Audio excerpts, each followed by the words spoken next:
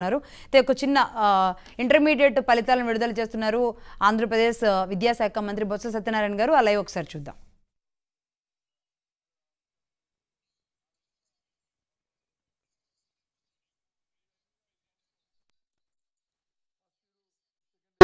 Exams వచ్చి మరి జరిపింది జరిపింది. మరి అంత అన్నీ కూడా సక్సెస్ఫుల్గా మరి చేసాం. సుమారు తొమ్మిది ఎనిమిది లక్షల అరవై తొమ్మిది వేల మంది అరవై తొమ్మిది వేల యాభై తొమ్మిది మంది వచ్చి మరి దీంట్లో పార్టిసిపేట్ జరిగింది. అలాగే ఒకేషన్కి వచ్చి డెబ్బై రెండు వేల రెండు వందల తొంభై తొమ్మిది మంది పాస్ అవ్వడం పార్టిసిపేట్ చేయడం జరిగింది. దాంట్లో వచ్చి ఉత్తీర్ణ శాతం కూడా మీకు ఇందాక చెప్పాను. అదే బాలుల్లో అయితే యాభై ఫస్ట్ ఇయర్కి అయితే యాభై నాలుగు సెకండ్ ఇయర్కి అయితే అరవై ఒక శాతం అయిందనే విషయాన్ని కూడా మీకు తెలి తెలియజేయడం జరిగింది. ఈ రకంగా ఇవాళ ఈ ఈ- విద్యా సంవత్సరంలో మన పదో దా- మా last time tenth class results కూడా ఇచ్చాము. ఇప్పుడు వచ్చి ఈ ఇంటర్మీడియట్ రిజల్ట్స్ కూడా ఈ రోజుతో ప్రకటించడం జరిగింది ఇవాళ. ఈ ఈ సందర్భం కూడా. ఈ విషయాన్ని మీతో షేర్ చేసుకుంటున్నాను. మీ ద్వారా ఈ రాష్ట్రంలో ఉన్న విద్యార్థులకి విద్యార్థి తల్లిదండ్రులకి అందరికీ కూడా ఈ విషయాన్ని తెలియజేస్తున్నాము. సీడీలు కూడా మరి అందరికీ కూడా ఇప్పుడే రిలీజ్ చేశాము. అందరూ ఆన్లైన్లో ఈ రిజల్ట్స్ తాలూకా ఫలితాలని మీరు ఆన్లైన్లో మీరు చూసుకోవచ్చు అని చెప్పి విద్యార్థులని విద్యార్థి తల్లిదండ్రులని అందరినీ కూడా నేను ఈ సందర్భంగా రిక్వెస్ట్ చేస్తున్నాను అది చెప్తుంది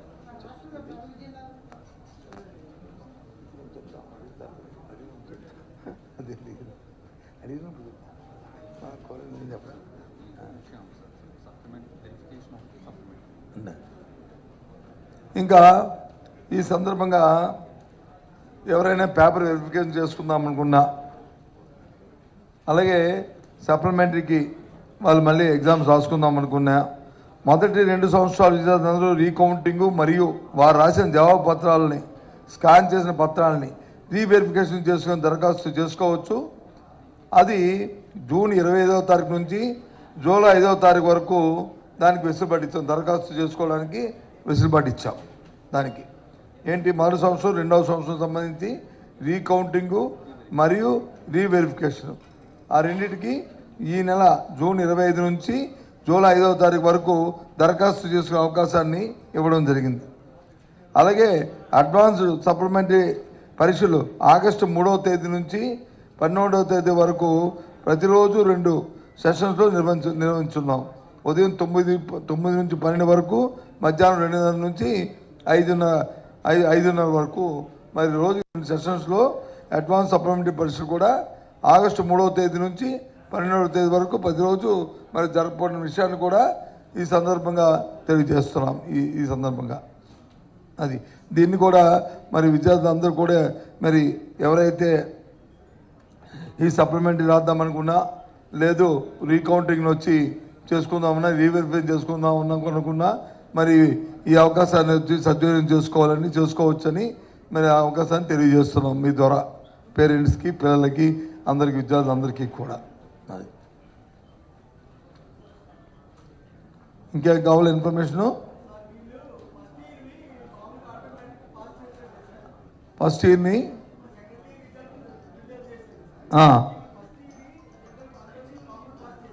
కామన్ పాస్ చేసాము. తర్వాత వచ్చి అవును.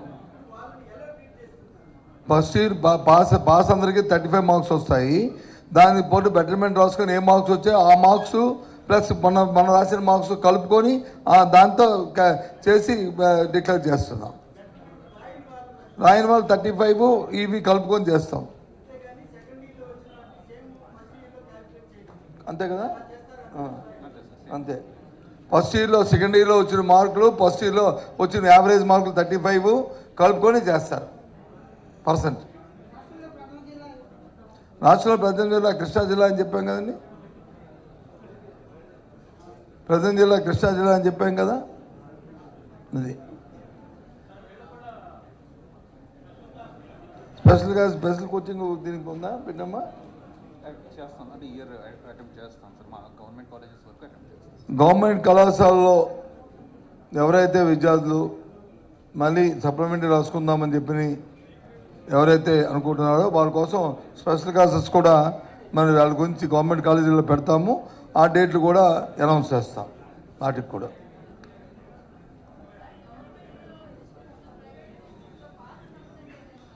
ప్రైవేటు?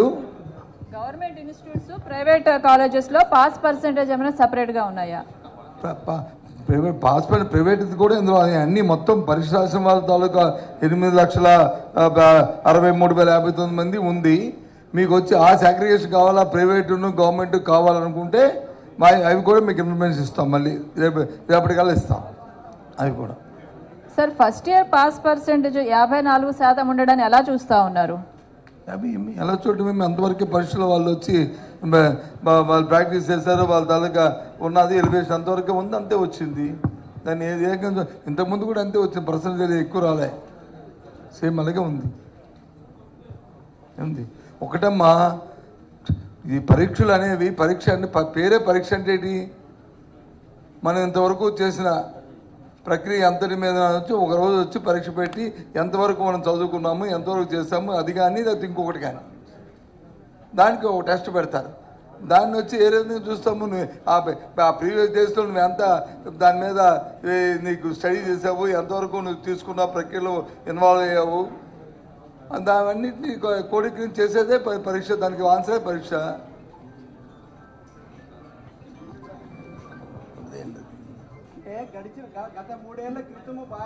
మీ- ఉద్దేశం మీ ఉద్దేశం మీ కవిరోజు చెప్తే నేను చెప్తాను. మీరేమనుకుంటున్నారు? గత మూడేళ్ళ క్రితము ఫలితాలు పర్సంటేజీలు బాగా వచ్చాయి. మూడు సంవత్సరాల నుంచి తగ్గాయి. అంటే ఎక్కడ ప్రమాణాలు? ప్రభుత్వ లోపమా టీచింగ్ లోపమా?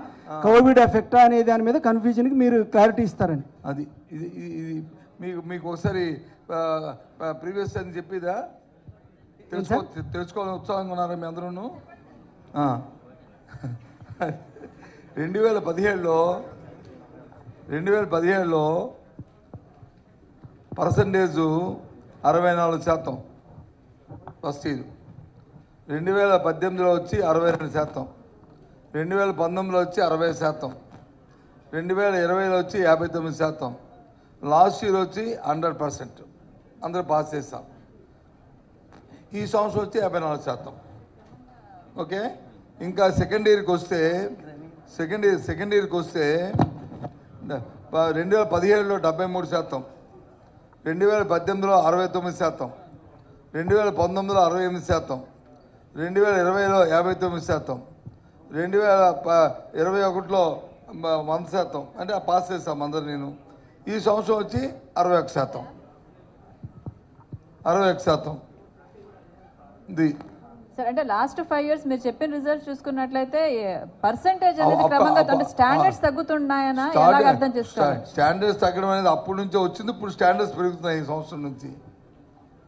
ఈ సంవత్సరం నుంచి ఈ పర్సంటేజ్ చూసుకుంటే స్టాండర్డ్స్ ఇంప్రూవ్ అవుతుంది అనేది అర్థమవుతుంది. ఈ ఈ పేపర్ చూసుకుంటే. మరి నాకు నాకున్న అవగాహనకి. మరి మీరు ఒకసారి చూస్తే మీకు నేను చెప్పిన లెక్కంతా మీ చేతిలో ఉంటే అప్పుడు పెరుగుతుందా తరుగుతుందా అని మీకు మీకు అర్థమవుతుంది. వరుసగా వరుసగా తక్కువ వస్తుంది ఇప్పుడు మళ్ళీ రేజు పెరుగుతుంది. ఆ పిల్లలకు వచ్చి వాళ్ళకి కావాల్సిన మ- క్లా కోచింగ్ క్లాసెస్ అలాగే స్పెషల్ క్లాసులు అన్నీ పెట్టుకొని వాళ్ళ టీచింగ్ అది పె- పెరపెట్టుకుంటే ఆటోమేటిక్గా ఇంప్రూవ్ అవుతుంది. చూసి కాపీ స్మాల్ ప్రాక్టీస్ తగ్గిస్తే పక్క మాల్ ప్రాక్టీస్ కానీ చేస్తే ఎంత పర్సెంట్ వచ్చేస్తుంది? ఒకటి మా విద్యా విద్యా మీ అందరినీ నా నా నా తాలూకా రిక్వెస్ట్ ఏంటి మీ అందరికీ? ముఖ్యంగా మీడియా మీ అందరికీ. సరే ఏ మీడియా ఉందా ఎవరున్నారా ఏటని పక్కన పెడితే ఓవరాల్గా మేము అందరినీ కోరుతుంది ఏంటంటే విద్యా విధానాన్ని ప్రభుత్వం ప్రత్యేకమైన శ్రద్ధతో ముఖ్యమంత్రి గారు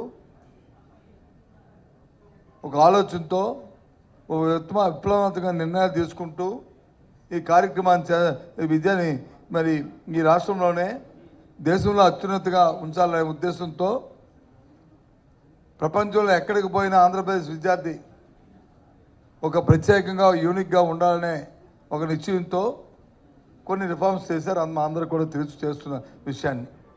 సరే స్టార్టింగ్లో కొన్ని ఇబ్బందులు వస్తుంటాయి దాన్ని ఒడిదుడుకులు వస్తుంటాయి దాన్ని తట్టుకొని అటు విద్యార్థుల తాలూకా మనోస్థైర్యాన్ని కానీ తల్లిదండ్రుల తాలూకా మనోస్థైర్యం కానీ ఎక్కడ చదవకుండా వాళ్ళని ప్రోత్సహిస్తూ ఆ కళాశాలలు కానీ లేకపోతే స్కూల్స్ కానీ ఆ వాతావరణాన్ని సృష్టి మంచి వాతావరణాన్ని కల్పిస్తూ ఇవాళ ఇవాళ కార్యక్రమాలు జరుగుతున్న విషయం మనకు తెలుసు. ఇంగ్లీష్ మీడియం కానీ సిబిఎస్ సిలబస్ కానీ లేదు ఫౌండేషన్ కానీ ఫౌండేషన్ ప్లస్ కానీ లేదు మూడు మూడవ తరగతి నుంచి ఎనిమిదవ తరగతి వరకు కానీ లేదా మూడు నుంచి పదికి కానీ లేదా పదవ తరగతి నుంచి పన్నెండవ తరగతి కానీ అన్నిటినీ కూడా అప్గ్రేడేషన్ చేస్తూ కావాల్సిన సిబ్బందిని అవసరమైన సిబ్బందిని నియమించుకుంటూ అక్కడ ఏ విధమైన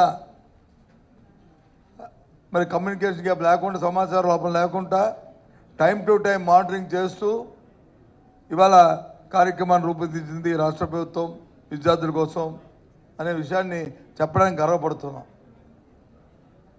నాడు నేడు కార్యక్రమం కానీ లేదు తీసుకుంటున్న ఫౌండేషన్ స్కూల్స్ తాలూకా కార్యాచరణ కానీ లేదు ఇప్పుడు ఈరోజు మీ మీ ద్వారా ఈ రాష్ట్ర ప్రజల ప్రజలందరికీ కూడా